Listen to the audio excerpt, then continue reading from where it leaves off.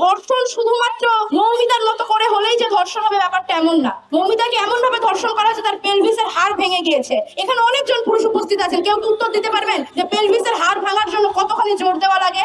তনুর চোখ খুবলে নেওয়া হয়েছিল।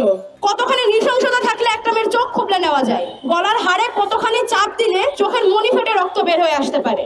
আমি মনে করি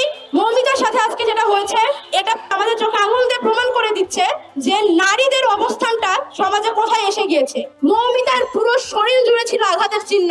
মৌমিতার গলার দুটো হাড় ভেঙে গিয়েছে। আপনারা একটু ভাবুন তো, হাতের জোরে কতখানি শক্তি প্রয়োগ করলে একটা মেয়ের শরীর এইভাবে ছিন্ন বিচ্ছিন্ন করা যায়? মমিতার শরীরে এমন আরও অনেক আঘাতের চিহ্ন ছিল, যেগুলো ক্যামেরার সামনে, মানুষের সামনে দাঁড়িয়ে বলার উপযোগী না।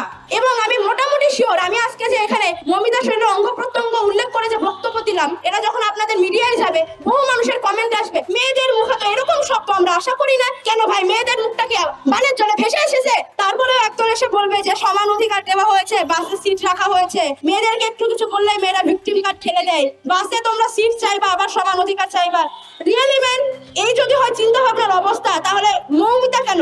মৌমিতাকে যদি চার টুকরো করে ভাসিয়েও দেওয়া হয়তো তারপরেও কোনো মেয়ে বিচার পাইতো না। আমি দু হাজার বারো নির্ভয়া হত্যাকাণ্ডের কথা এখানে আমি একটু উল্লেখ করতে চাই নির্ভয়াকে যখন ধর্ষণ করে খুন করা হয়, সে তাৎক্ষণিক মারা যায়নি। জীবন জীবন যুদ্ধে সে অনেকদিন লড়াই করে তারপরে মারা গিয়েছিল। তবুও সেটা আমরা খুনই বলব। এই নির্ভয়ার জনিদারে লোহার রড ঢুকে দেওয়া হয়েছিল।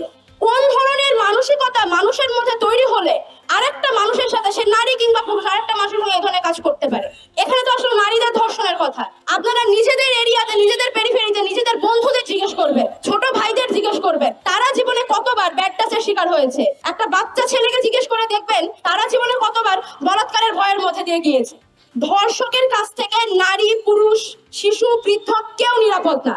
ধর্ষককে নারী হিসেবে, পুরুষ হিসেবে, ক্ষমতাসীন হিসেবে দেখা বন্ধ করে যতদিন না শুধুমাত্র ধর্ষক এবং অপরাধী হিসেবে দেখা শুরু হবে, ততদিন না ভারতে, না বাংলাদেশে, না ভিয়েতনামে, না চাইনায় কোনো জায়গায় ধর্ষণের বিচার হবে না। ধর্ষণের সর্বোচ্চ শাস্তি দেওয়া আছে মৃত্যুদণ্ড। আমাকে একটু আপনারা বাংলাদেশে ধর্ষণের অপরাধে মৃত্যুদণ্ড সংঘটিত হতে দেখেছিলেন। আইন আছে কিন্তু বিচার নাই। যখন বিচার চাওয়া হয় তখন বলা হয় আমরা তো আইন করেছি আর কি আইন করতে পারি? আইনটা করা হয় কিন্তু বিচারটা করবে কে? আর এই বিচার যদি জনগণ নিজের হাতে তুলে নেয় তখন সেখানে চলে আসে মব জাস্টিস নিরীহ মানুষদের প্রাণের উপরে তখন আশঙ্কা চলে আসে তাহলে বিচারটা করবে কে এই পৃথিবী জুড়ে নারীদের প্রতি শিশুদের প্রতি যৌন সহিংসতার বিচারটা করবে কে আইন তো দেশে দেশে হচ্ছে আমরা আজকে এখান থেকে জানাতে চাই আমাদের নতুন কোনো আইন দরকার নাই আমাদের এবার বিচার দরকার।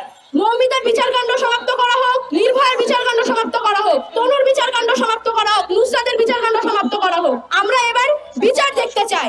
আজকে বাংলাদেশের পক্ষ থেকে, ঢাকা বিশ্ববিদ্যালয়ের শিক্ষার্থীদের পক্ষ থেকে, নারীদের পক্ষ থেকে আমি জানাতে চাই, যতগুলো ধর্ষণের ঘটনা ঘটেছে, সবগুলো